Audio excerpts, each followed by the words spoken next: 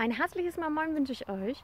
Heute bin ich mal wieder mit meiner kleinen Laila unterwegs. Mal gucken, ob ich sie für euch eingefangen kriege. Da ist sie ja schon, die kleine Laila.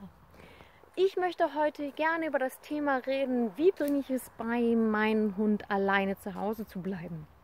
Es gibt natürlich unzählige Ansätze, Methoden, Anleitungen. Ich möchte allerdings gerne von aus meiner Sicht erzählen, wie ich es meiner, Leila, meiner kleinen Laila beigebracht habe, zu Hause zu bleiben, alleine.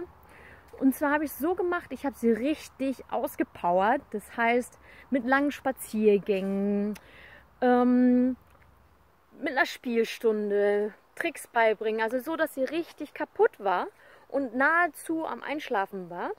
Und dann habe ich halt, ähm, bin ich zwei, drei Minuten rausgegangen, die Tür hinter mir zugemacht und bin dann wieder reingekommen und habe in den Raum rumgewurstelt, habe sie überhaupt gar nicht beachtet und bin wieder rausgegangen. Das habe ich so zwei, dreimal gemacht.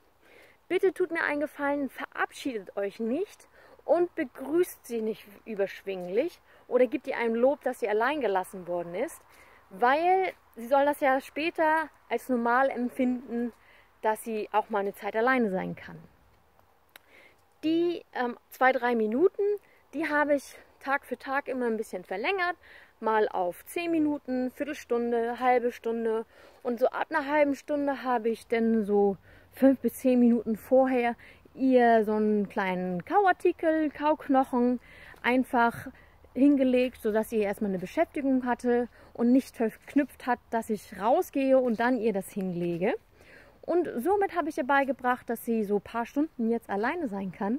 Ich verhindere das meistens, weil ich die Möglichkeit habe, zu meiner ähm, Schwester hinzufahren, sie abzugeben oder bei meiner Mutter sie abzugeben. Aber sie hat es jetzt gelernt, dass sie zwei, drei Stunden auch mal alleine sein kann. So einfach geht es nicht immer, das weiß ich. Es gibt auch Hunde, die wirklich spezi einen speziellen Fall sind, Fälle sind. So Hunde, die Verlustangst haben oder Straßenhunde, die nie wirklich alleine gewesen sind und immer auf ihre Sicherheit bedacht waren. Da möchte ich euch gerne ans Herz legen, dass ihr da euch gleich von Anfang an professionelle Hilfe holt in Form einer kompetenten Hundeschule. Denn wenn ihr das alleine versucht, dann könnt ihr oftmals viel mehr Schaden anrichten, als vorher schon war. Wenn euch das Video gefallen hat, dann gebt mir doch bitte einen Daumen hoch oder ein kleines Herzchen. Das würde mich echt freuen. Und schreibt mir mal in die Kommentare, wie ihr euren Hunden das beigebracht habt, dass sie jetzt alleine bleiben können. Oder was ihr schon alles versucht habt und dass es nicht funktioniert hat.